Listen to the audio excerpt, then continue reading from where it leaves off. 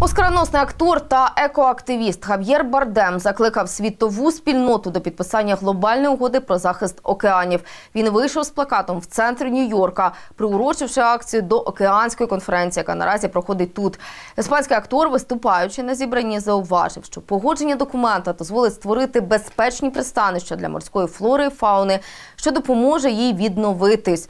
За словами Бардема, його спостереження під час роботи в Грінпіс підтвердили необхідність взяти під охорону як мінімум третину світового океану до 2030 року.